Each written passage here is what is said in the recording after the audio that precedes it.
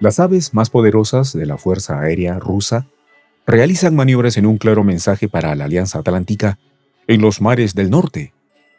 La respuesta del Kremlin a las recientes provocaciones de la OTAN es decisiva y da señales de que no dudará en usar la potencia más destructiva de sus armas estratégicas.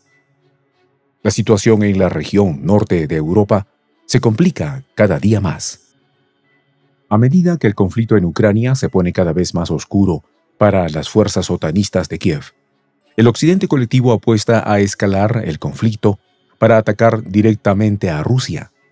Sin embargo, el oso ya perdió la paciencia y empieza a repartir zarpazos a diestra y siniestra contra esas provocaciones.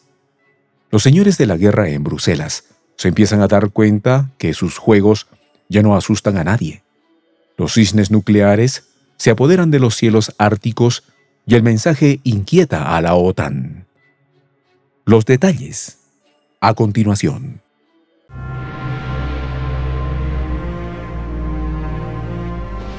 Voz de la Patria Grande.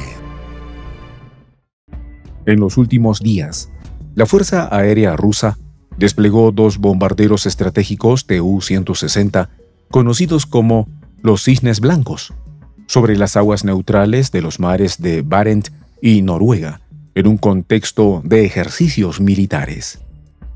El Ministerio de Defensa rusa declaró que estas maniobras se produjeron en el marco de los ejercicios a gran escala Okian 2024. Estas tienen lugar tanto en mares como océanos en un gran despliegue militar.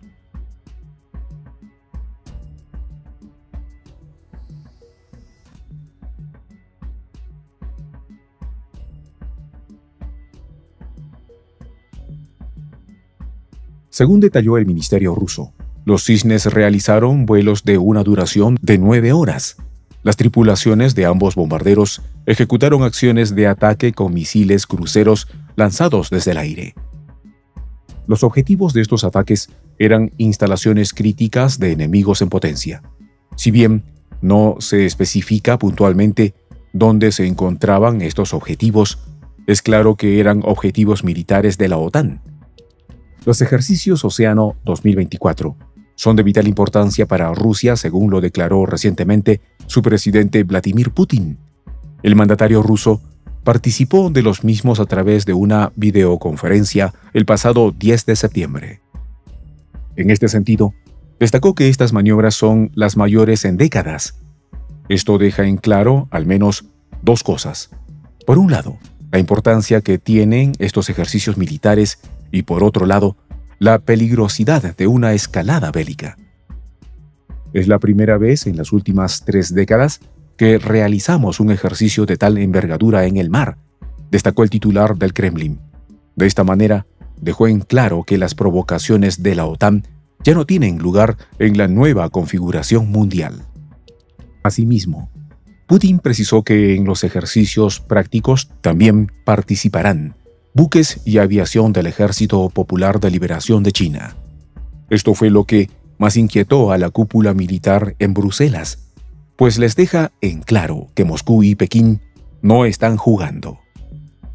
Además, el mandatario ruso comentó que también fueron invitados y participaron como observadores de los ejercicios militares los representantes de al menos 15 países, esto sin dar mayores detalles de qué países se trataba. Por otro lado, el líder ruso aprovechó para denunciar que Estados Unidos está provocando una carrera militar sin precedentes desde la Guerra Fría. Según sus palabras, las intenciones de Washington son mantener su dominio militar a toda costa.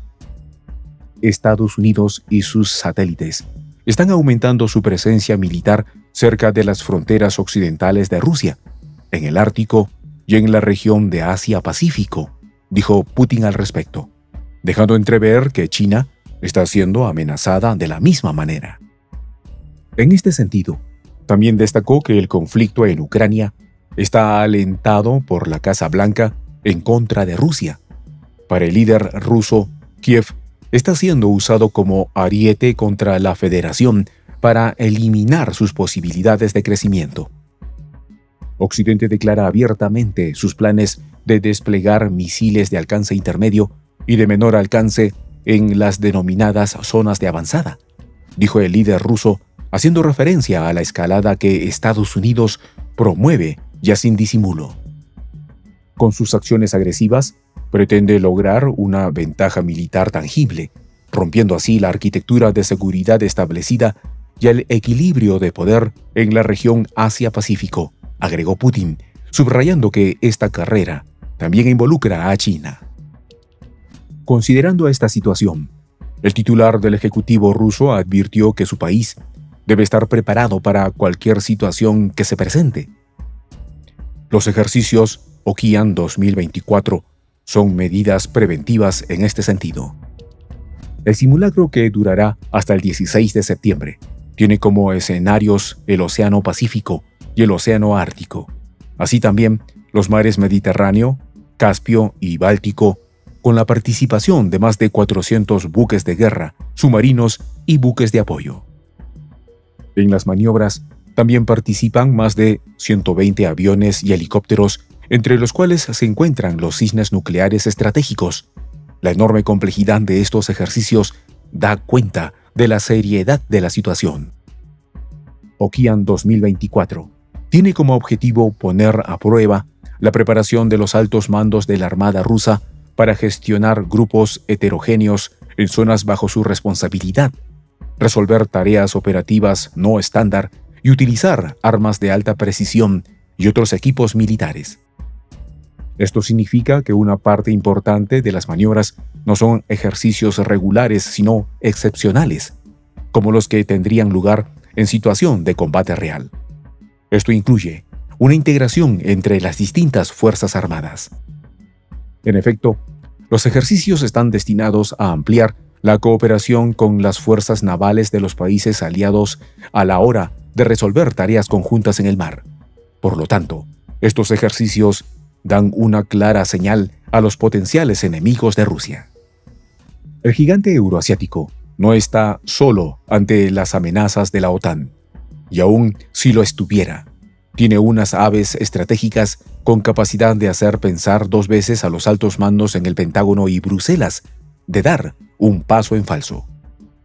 El Kremlin está en alerta máxima y el despliegue de sus cisnes nucleares es un síntoma de que en Occidente no están entendiendo muy bien los mensajes de Putin. Pronto se acabarán las advertencias y se pasará a la acción.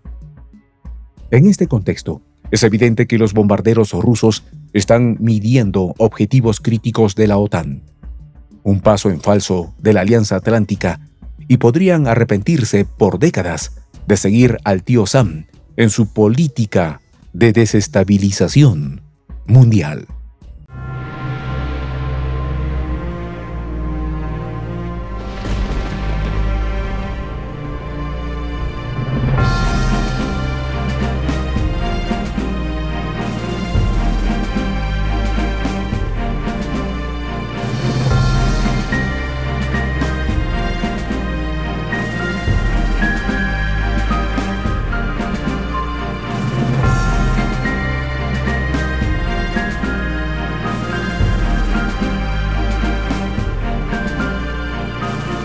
De la Patria Grande.